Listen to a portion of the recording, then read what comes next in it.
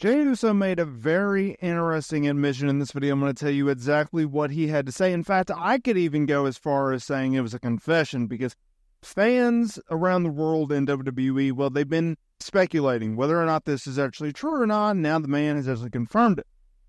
If you look at the trajectory of Jey Uso, it's actually quite fascinating how he has come to where he is now.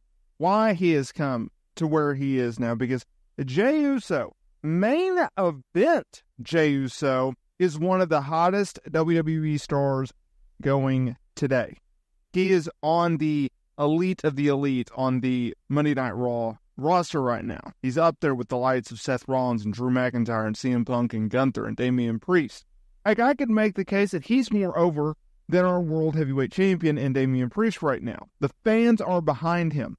And why is that? Well, my theory behind his connection with the fan base, they've seen him grow up, right? If you go back to 2020 during the pandemic when he feuded with Roman Reigns, our tribal chief for the undisputed WWE Universal Championship at the time, they made him a lovable, relatable babyface, someone that you could get behind, someone that you could believe in, what he stood for. Hard work, doing it on his own. That was the two qualities in which got Jey Uso over with the fan base. And he has done a lot of great work since then, whether it be that singles run against Roman Reigns during the pandemic when he tried to become the new tribal chief, yet failed, whether it was him accepting his alliance in the bloodline, whether it be him pointing out Sami Zayn didn't belong, whether it was him and Sami Zayn's friendship on television, his connection with his brother Jimmy Uso yet again for another dominant Usos title reign as the tag team champions. Whether it be him splitting away with the bloodline and now on Monday Night Raw as a single star. Heck, I could even include his run as tag team champions, although brief, with Cody Rhodes last year. Now, I understand that Jey Uso is not for everyone, but what he has done recently is he has gotten over more than a lot of people on the current WWE roster. Look at his freaking entrance. That, my friends, is an example of a gimmick being over. When you are coming out and the fans are chanting yeet, yes, he got the word yeet over. He is one of the top merch sellers for WWE week in and week out. And not just one item. He's not just selling a t shirt, he's selling multiple t shirts. And he was recently on the Battleground podcast and he was talking about his sunglasses. And, and fans have been like, this is kind of a, a Bret Hart gimmick infringement, right? Because Bret Hart, he had those big, bulky glasses. Now, Jey Uso has big, bulky glasses, obviously different designs, but this is what Jey Uso had to say about whether or not he was stealing the look from Bret Hart. He said there was an old commercial with Bret Hart. Do you remember it? That commercial came on and he had pink glasses. I automatically light bulb, like I need blue ones.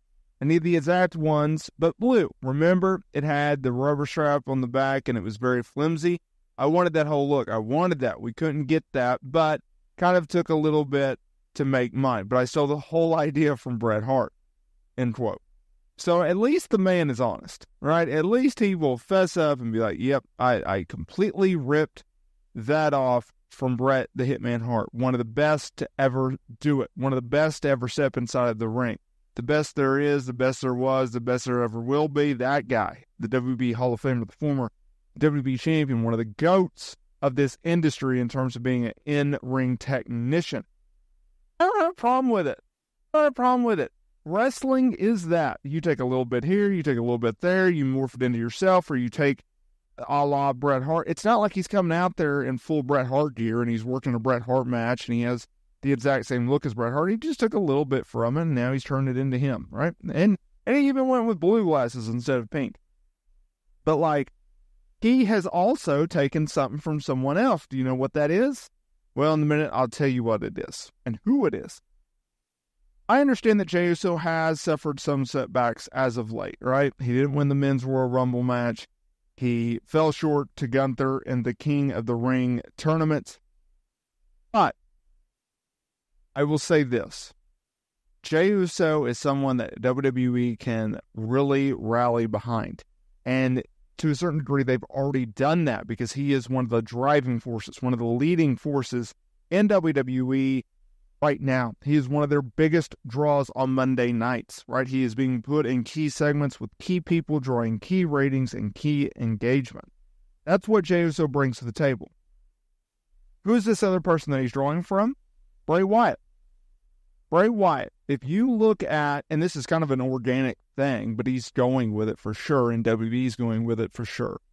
Where Bray Wyatt, he would come out and the Fireflies would come out, as they quoted it, where people would put on flashlights on their phones or just raise up their phones and it would light up the dark arena. Well, now WWE is doing that with Jey Uso, and it's such an awesome effect. And I hope that they do it more often because it does give off such a cool, cool look. And it's also so you get the fireflies, but then when they're raising their hands and legitimately like a backlash, France, they were going nuts. I mean, it was shaking the arena. And yes, he fell short to Damian Priest in that World Heavyweight title match at Backlash France. Something I'm okay with because it was not realistic that Jey Uso was going to necessarily dethrone Drew, Ma- or excuse me, Damian Priest right then and there. Like we knew that, but at the same time, I didn't like the finish.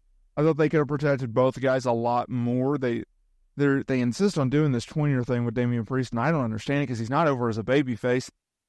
He's more over as a heel than anything, and you kind of lack heels right now. I understand Drew McIntyre is the biggest heel, and, and you have Gunther, but at the same time, on the babyface side, you have CM Punk, you have Seth Rollins, you have Jey Uso, right? And if you're going to be a champion, you might as well keep it heel, right? We just had a long, long, long, almost a year long babyface run, and Seth Rollins is our champion. So it's like, what are we doing? But I thought they could have protected both guys better. I thought Jey Uso didn't need. Look, you could have done it two ways. Either you could have just had a dominant Damian Priest win, okay, and just beat Jey clean, put more heat on Damian Priest, or you could have saved Jey Uso by having outside interference and Damian Priest going with it instead of trying to fight it.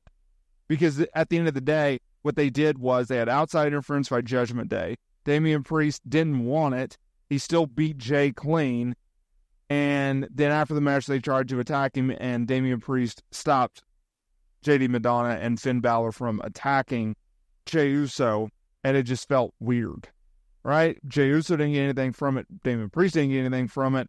And it's like, well, what are we doing then if no one is getting heat from absolutely no direction, right? Like, you have to go with either or or it just doesn't work, in my opinion. Let me know down in the comments area below what do you think about Jey Uso's confession, admission, if you will, and I will see y'all in the next video.